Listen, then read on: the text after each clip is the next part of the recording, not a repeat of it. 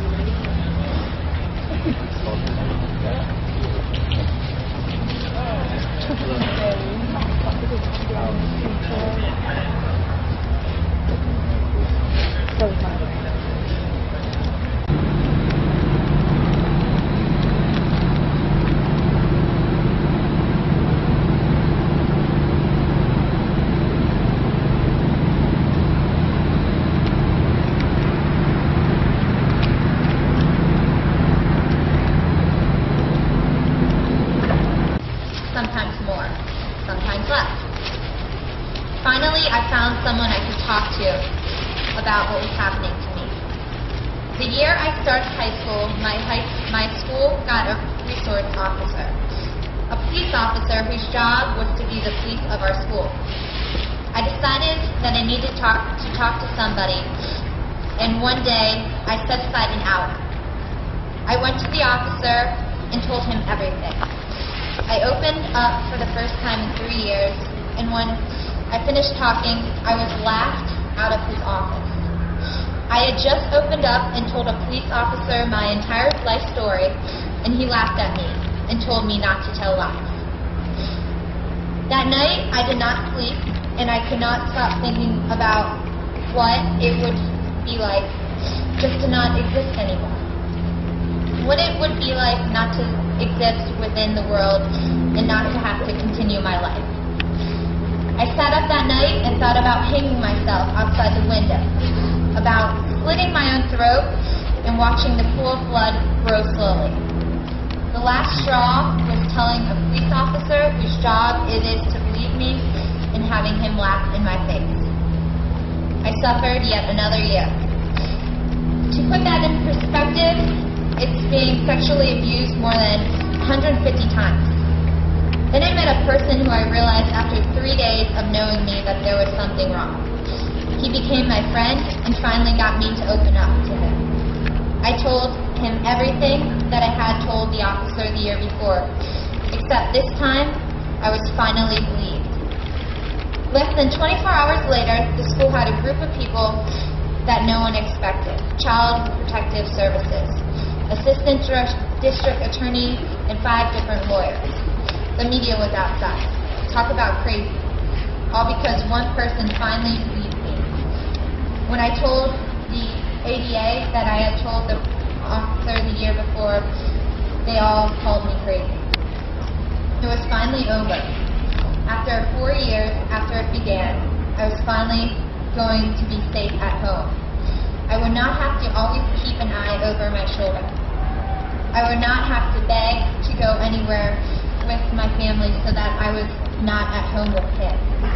I did everything within my power not to try to be caught alone. Therefore, as we stand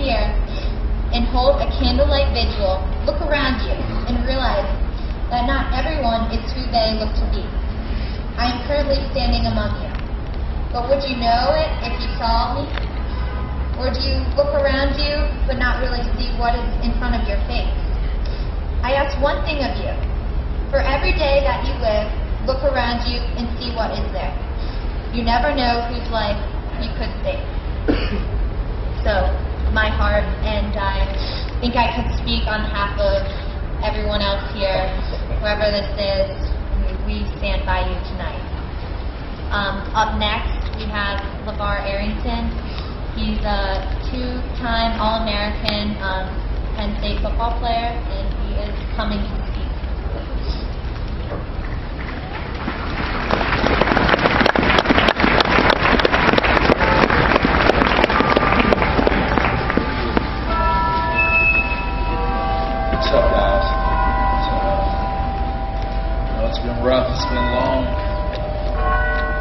dropped everything I had going on to make sure that, that I can get out here and, and, and be with my brothers and sisters. Um, this is tough, very, very difficult for, for this to have happened.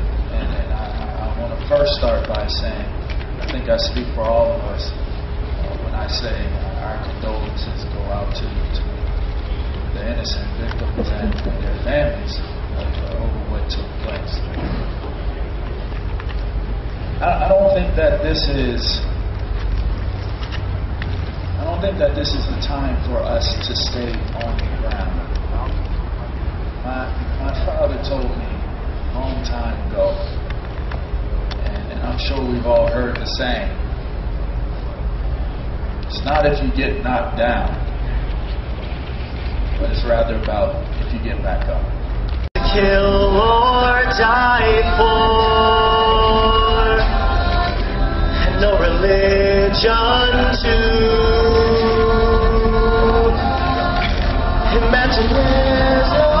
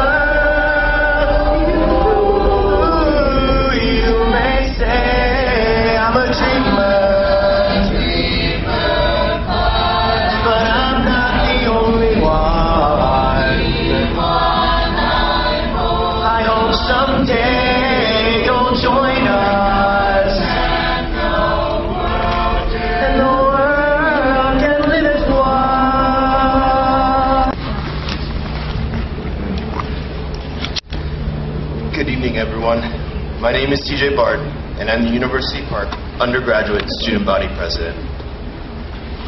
Like you, I'm appalled by the events which have come to light. And on behalf of the student body, I offer my heartfelt sympathies to each of the victims and their families. Our top priority is and will be the well being of the victims and closure for all involved in this tragedy.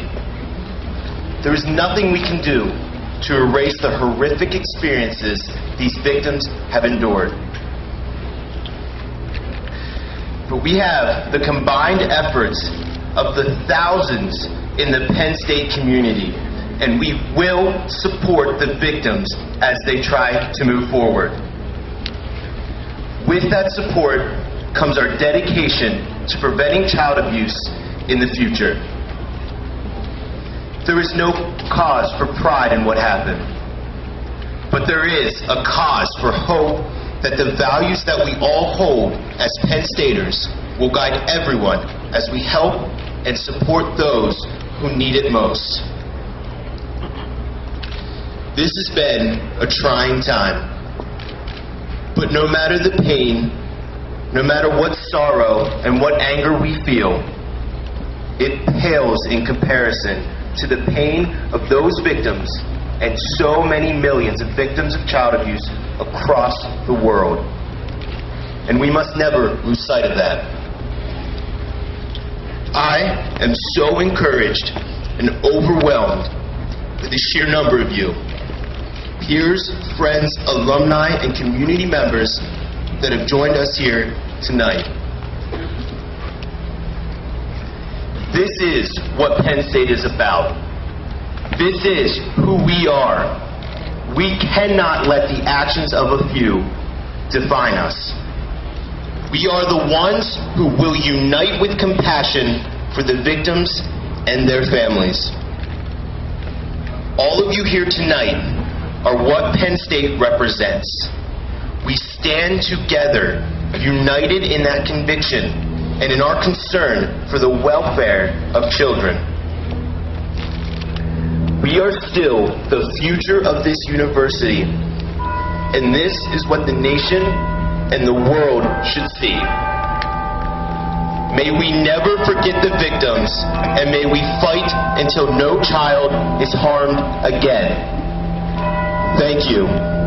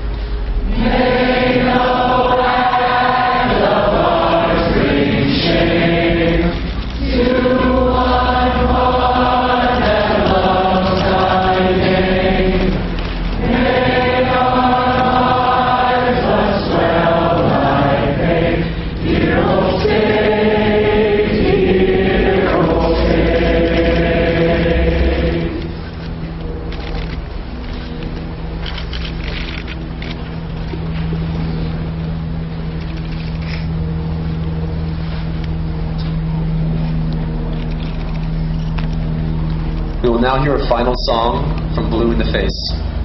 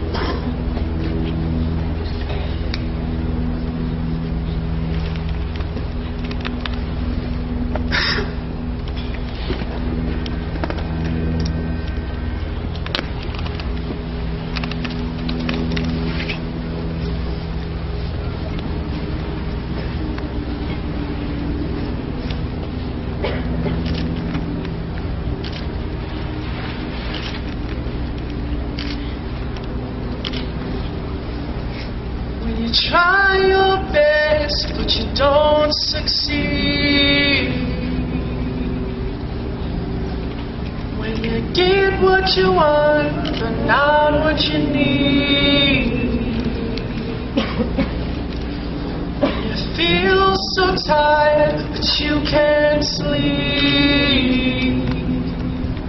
Stuck in the eyes,